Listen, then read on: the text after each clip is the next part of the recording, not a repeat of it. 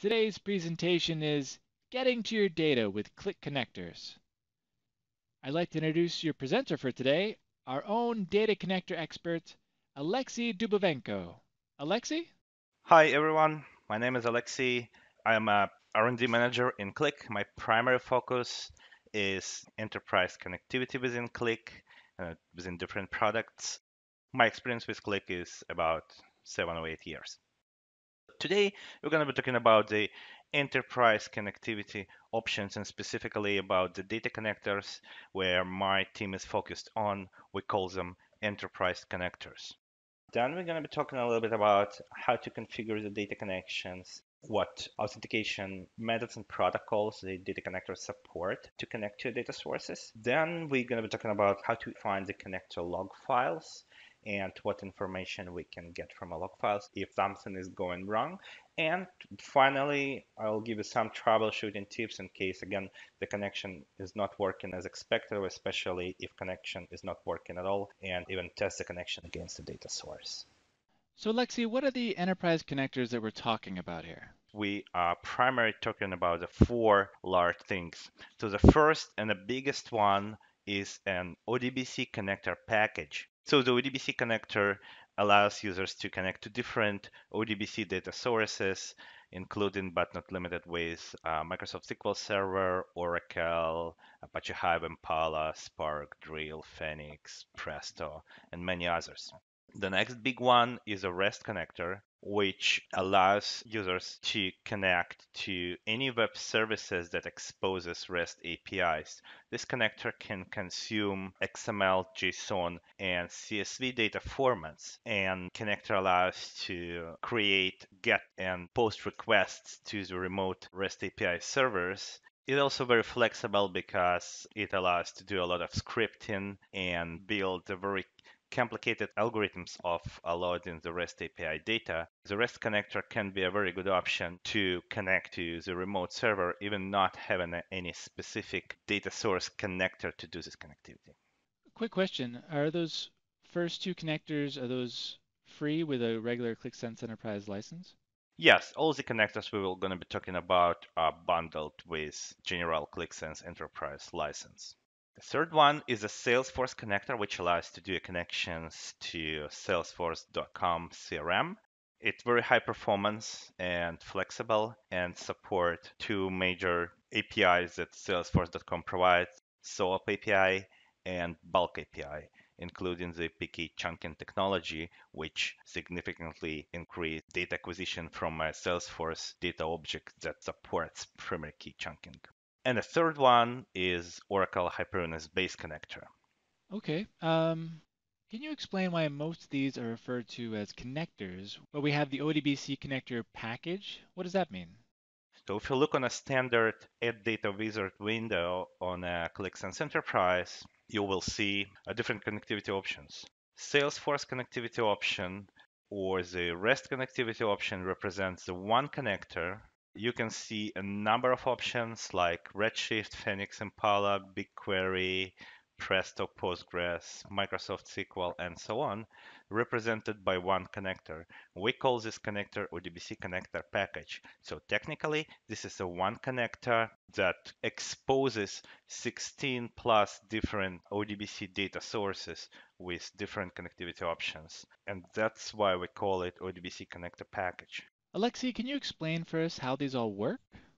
If we look on the diagram, we have the connector itself, which exposes the UI on a browser or on a QlikView, uh, depending on the platform.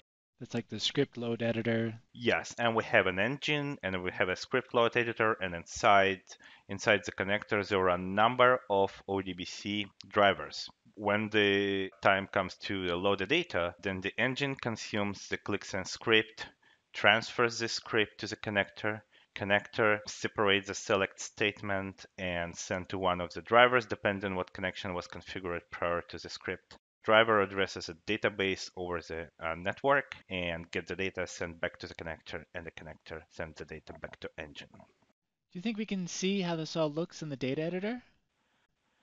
Yeah, sure. If you come to data load editor and try to create a new connection, We can go with something primitive like Amazon Redshift, let's say. This is a create new connection window where the users can configure a hostname, port, a database, username, and password. That's a primitive authentication. Is everything for these connections username and password? Are there other authentication options supported? Username and password is the very simplest method of getting to the data source and authenticate. However, if we look on, let's say, um, Microsoft SQL Server, then we have a different authentication options. The authentication might support NTLM, or if not NTLM, then just username and password. It's a built-in users to Microsoft SQL Server, as well as single sign-on uh, based on Kerberos Single sign-on means that once user is authenticated in a Qlik Sense towards the Active Directory, then the identity of this user is transferred across all Qlik sessions, so user does not have to even enter the credentials when it configure the connection. You sign in once in Qlik Sense, and your identity is transferred for the data connectivity purposes. Alexey, what are some best practices when managing all those data connections to avoid having any issues connecting to data. Yeah, the connection should just work, right? So the, the expected behavior is you configure the connection, you press the test connection button, it works. You open a select dialog and pick up some data that works. You create a script doing a reload and that works and brings the data inside the Qlik engine.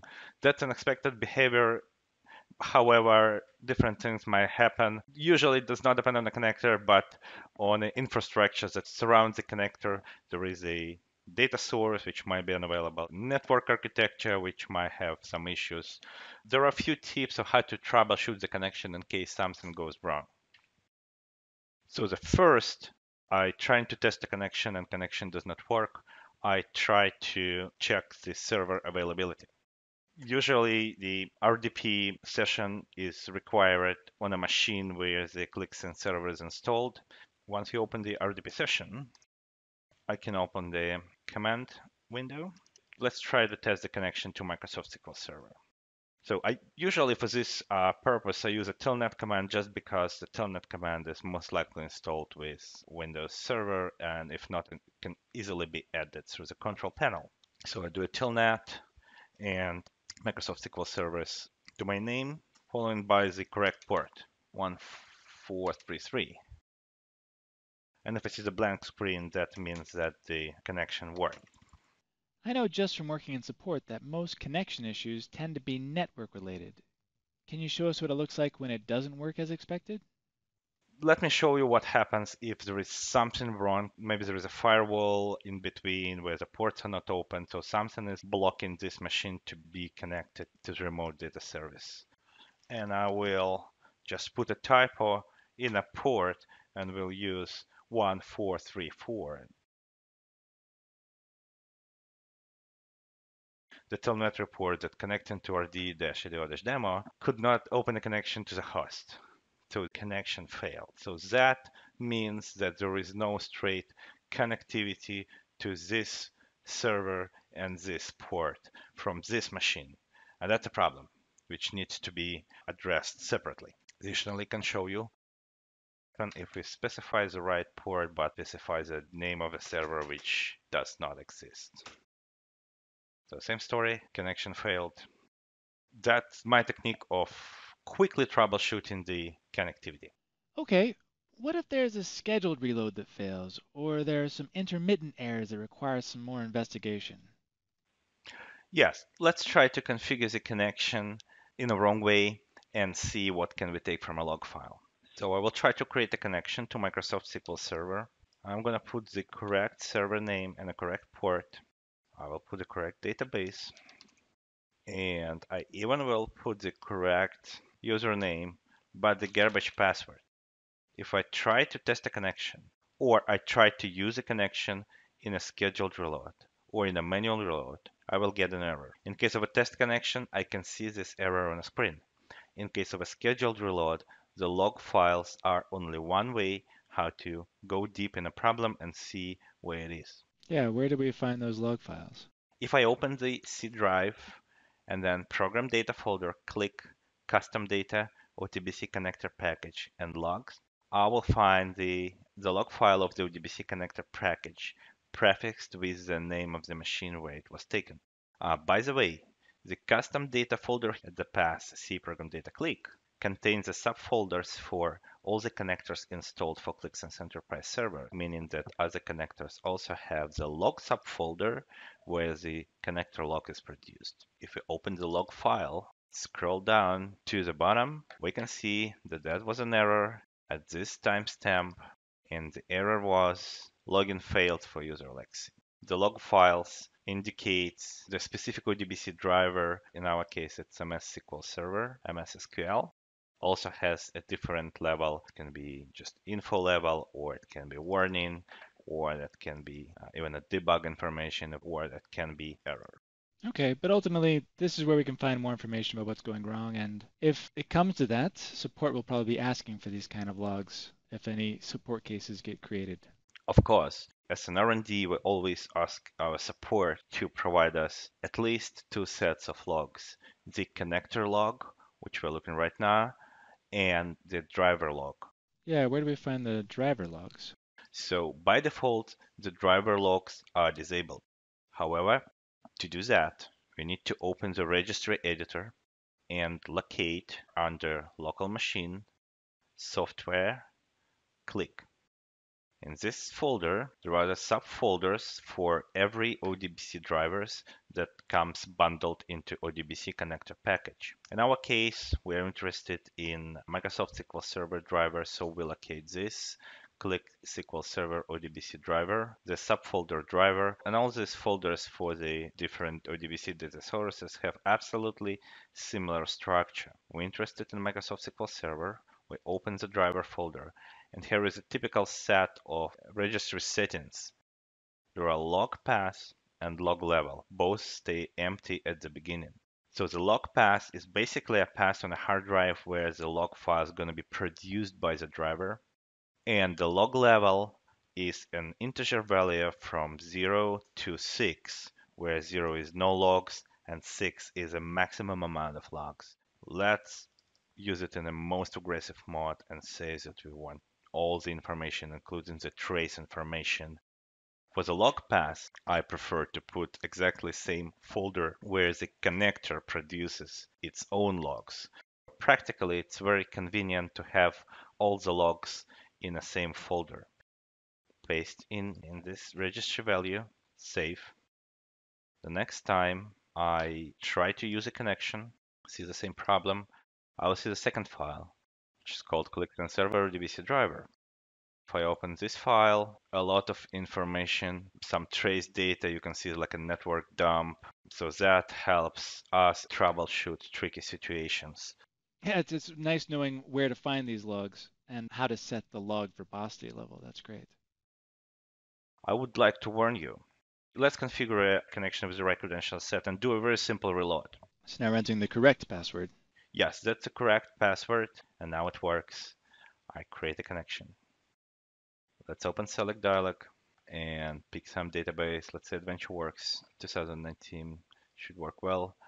Let the human resources owner and load two tables, departments and employees. This is just a demo SQL database you set up? Yes. Let's insert the script, load the data, 800 records from one table, uh, 300 records almost from another table. If we look on a log file, that produced Ooh, 19 megs of data. What would you recommend for a production environment? What should that be set at? I would recommend to set it to zero because normally in a production environment, you don't want to have driver logs at all.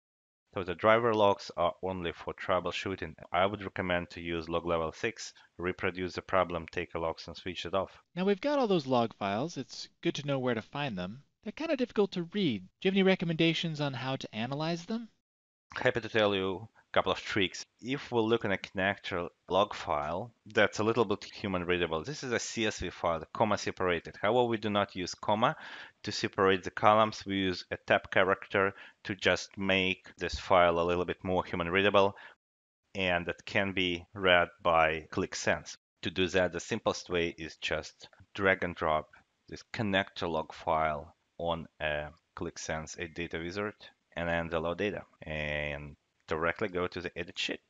As you can see, the, the application was immediately built from this log file where we can filter to the data source, we can filter by the errors.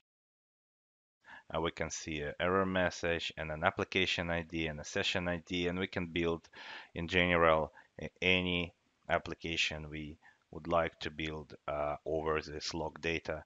Of course, that's a very simple example of drag and drop in the single log file, but it's possible to build an application which will take the logs from some location, load them, maybe even incrementally, and uh, analyze and show the number of errors or number of different issues which happens with the connector. Nice that there's software available to help you analyze data like this. Exactly. Do you have any tips for improving data connectivity performance overall? Yes, we have a few tips. Again, in normal situations, the performance should be just enough. However, sometimes when the performance is not enough, and there is a one very common trick of how to increase the performance of the existing ODBC connection. You will need to locate the folder with the connector binaries live. And that's usually C, program files, common files, Qlik, custom data, ODBC connector package, where is the connector exe, and the connector exe config file, which is an XML file if we open the this config file, scroll down, we'll find the app settings section. There are a number of options. It starts with driver abbreviation like MySQL or Oracle or Postgres, and then it's say dash reading dash strategy. And by default, their value is set to connector. In some cases, performance of that is not enough. You can modify this config file instead of a connector as a reading strategy specify engine. This will allow engine at the reload time to deal with the ODBC driver directly without involving the connector. Connector, however, is still going to be used to create a connection, uh, manage the select dialog, bring a list of tables, list of fields, create a script, put the script in a script editor. However, when you press the reload or if the scheduled reload happens, there won't be any connector in between the engine, which in some cases might increase the performance. However, be warned that the metadata that the engine gets from a DBC driver might be slightly different from the metadata that engine gets from a connector, which is still going to work at Qlik Sense, but just do not be surprised. Okay, it's time for Q&A. Please submit your questions through the Q&A panel on the left side of your ON24 console. Alexey, which question would you like to address first? Um, so let's go from start. Uh, the question was about, is there a specific version that has fewer bugs with data connectors that you recommend? Basically the, every new version we release uh, contains uh, bug fixes as they appear. So we always keep an eye on the quality and all our always our next release includes as many bug fixes as we can do. So uh, technically, every new version should have uh, less bugs than the previous one. And I would strongly recommend to use as newer version of a connector as possibly all the time. Okay. Next question. Are these connectors the same for QlikView as they are for Qlik Sense? Uh, yeah, so uh, as I told before during the webinar, that how we build it technically, they are the same. They just expose in different UI in a QlikView and in a Qlik Sense, but technically connectors are the same. And we try to update the and release the newer versions for QlikView as um, often as we can. Great is there a connector available for Hadoop? So not for HDFS specifically, but we support number of services from a Hadoop ecosystem, including Apache Hive, Cloudera Impala, Spark, Drill, Phoenix. Um, so uh, you have a possibility to, to extract the data from a Hadoop ecosystem. Okay. I see there's a question there about Qlik Sense Cloud. Yes, are these connectors the same in a Qlik Sense Cloud? Um, yes, they are the same. And again, our goal is support the same connectivity in all the platforms in Qlik Sense Cloud and Qlik Sense Enterprise, Enterprise on Kubernetes, and a QlikView.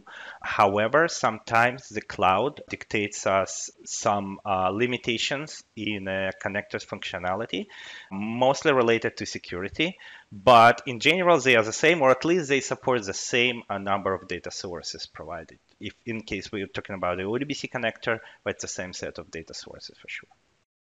The next one is what type of a connectors require separate license. So nowadays, the Qlik Web Connector package for non-subscription users and SAP connectors require separate license. And the related question is, is the SAP connector part of the ODBC connector package? No, it is not a part of ODBC connector package. Uh, ODBC connector package is bundled with a Qlik Sense Enterprise and available on all other platforms with a Qlik Sense product. SAP connectors, a set of SAP connectors require the separate licensing, so that's that's a separate connector.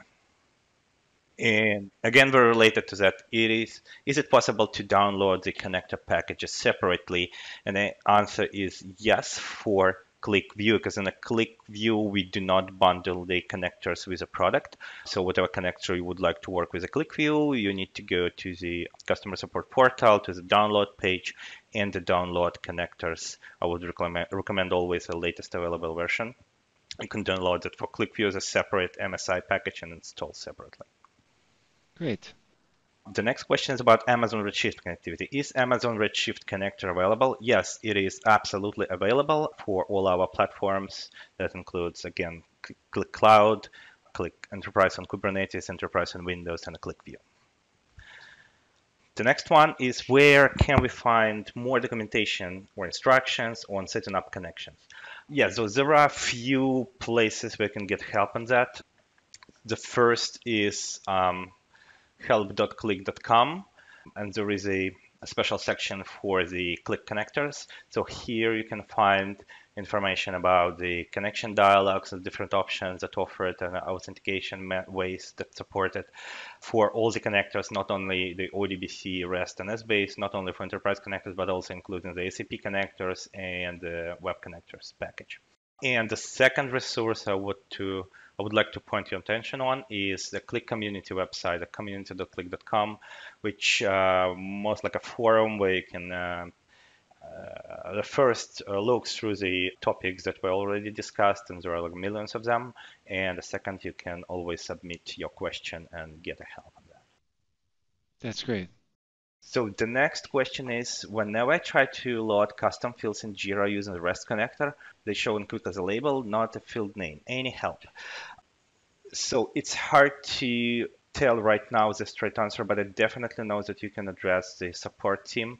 Uh, so create a support ticket and uh, support will send this to R&D and our engineers will take a closer look what's going on in your specific case. Great. The next question, is Qlik Sense better at connecting to the data than a Tableau? Are there data connectors and Qlik that aren't available with a Tableau? Well, I can only answer from the cloud, Qlik, Qlik cloud perspective. So it looks like the Tableau online service has less connectivity options than the Qlik cloud services. Uh, specifically, I'm talking about the SAP connectivity. So the Qlik Sense Cloud supports SAP. The next one is what's the best connector for adding Google Sheets?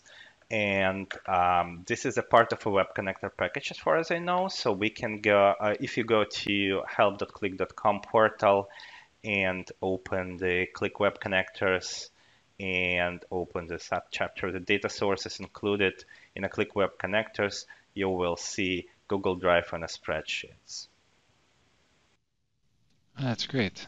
Okay, Alexey, we have time for one last question. The last one is uh, where can I find resources for setting up a connection to SharePoint? And again, the SharePoint is a part of web connectors. Um, here is the help page on that. We have a separate connector which is called Office 365 SharePoint. So you can follow this documentation link. link. You can find all the, the information you need. And that's a part of web connectors there. It's a part of web connectors. Great. Well, thank you very much, Alexey. Thank you, Troy, and thank you everyone for joining our webinar today. Okay, great. Thank you, everyone. We hope you enjoyed this session. Thank you to Alexey for presenting. We appreciate getting experts like Alexey to share with us. Here's our legal disclaimer. And thank you once again. Have a great rest of your day.